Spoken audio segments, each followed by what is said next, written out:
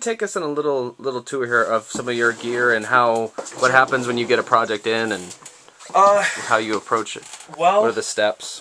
Particularly for vinyl, I would say. for vinyl, um, a- lot of the stuff that I, when somebody's doing something for vinyl, a lot of the time, um, they will do for like a digital release as well. So, Yeah, yeah. Which I that's my plan as well. So how do you kind of prepare that du- dual?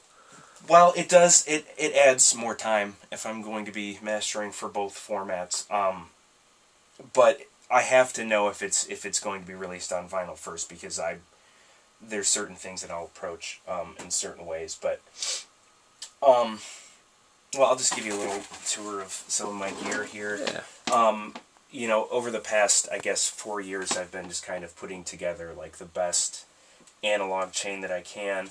Um, so this is my Crane Song HEDD. It's a really nice um, analog to digital, digital to analog converter. It just basically, you know, in order to get out of the computer and all these knobbies and stuff, it, you have to have that.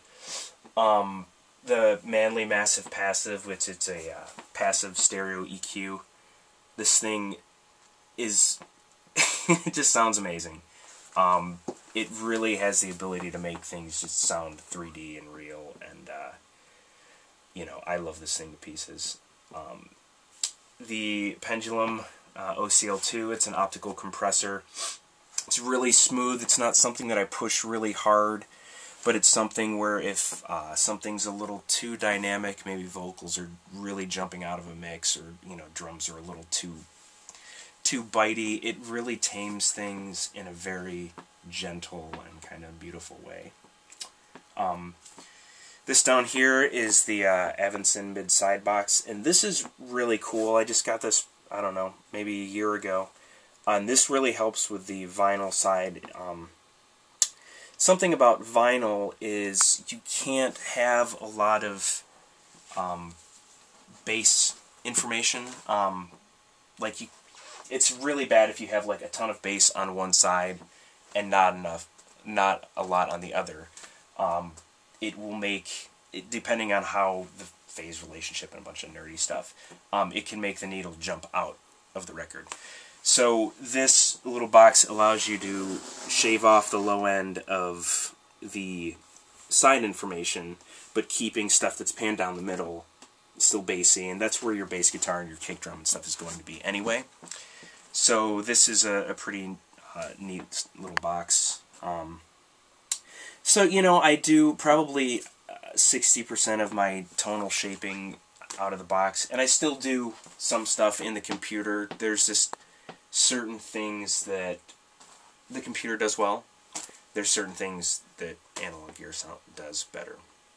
Um, so I guess you know when I get a project in, um, I'll usually kind of spend you know maybe a half hour um, listening to the songs in order, getting a feel for um, what you know the work that's going to entail. Um, listening for any potential issues, whether there is a lot of sibilance and you know uh, that kind of stuff. Um, I'll listen to just the low end um, and look at my phase scopes to make sure that um, I'm not going to have any surprises when I send the master to the the guy that does the cutting. Um, and you know, then I'll just kind of go through. Usually, start a song one um, or the song that sounds best, and kind of get that sounding the best I can and then uh, just go from song to song and uh, pay attention to things that jump out of the mix. Um, and I'll kind of limit those in a frequency specific sort of way. Um, really, it's just trying to get when going from one song to the next, um, making it a, a natural transition and not like a jarring kind of thing. And making sure that the record, it feels like a record as opposed to a collection of you know different songs.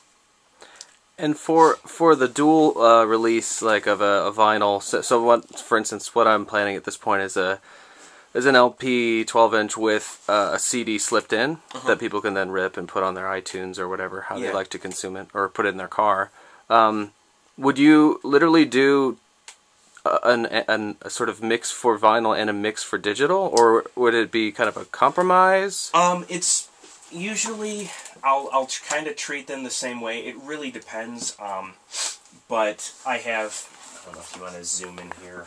Um, but basically, come, I, I come around. yeah I have like two channels. I've got one called LP, and then uh, Oh, I see. Yeah. yeah, one called CD, and it's basically just the one I record without uh, overall peak limiting and um, you know soft clipping or anything like that. That's kind of the uh, the cheater way to get thing really loud. Um, so with the vinyl stuff, I won't put a limiter on that side. Um, or I won't limit it as hard. And basically, it's just the vinyl is going to, the snares are going to pop a little more. Um, it's going to feel a little more open. Um, but sonically, it will be the same for the CD and the vinyl. It just, like I said before, people don't really care whether their record is screaming loud. Yeah. So I basically will kind of treat tonally the same, um, both sides, but just the one will be like not limited and kind of compressed. Okay. So does And that make sense? I think so. Yeah. And what's this? Uh, what's this analog tape machine over here? Uh, this is my Otari MTR10. Um, it's a quarter inch uh, stereo um, tape machine. Um, three speeds, seven and a half, fifteen, and 30. Um, I think I do actually. But this is my band. Um, we What just- is your band called? um, Swarm of Bats. We're like a little stupid, uh, garagey punk rock band.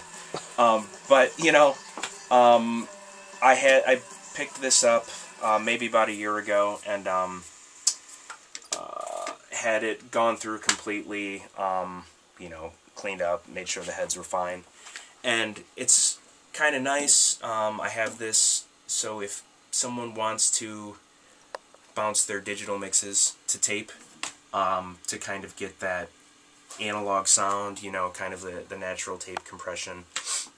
I offer that as a service. That's like, you know, one more step that you can go through. Or if somebody has recorded completely to analog, mixed to tape, um, then they can bring their master tape here and, you know, go straight from tape into the, you know, the final digital realm. So I, it's it serves a couple purposes, um, but uh, it's just you know an added uh, uh, added uh, point of flex flexibility, I guess, for people. Yeah. So, um, yeah, you know, I I- I love analog stuff. You know, I'm surrounded by it, but I also you know there's a place for the digital stuff too. So it's just kind Sure. of like a good marriage between the two. Well, thank you very much for, for walking us all through it. Is there anything Yeah. that I kind of left out that you think, say, someone was stumbled upon this with questions about the sort of process? Is there some significant things that I didn't mention? Uh, yeah. Um, louder doesn't mean it's better. I guess that's it. All right. So cool. Thanks, man. Thank you.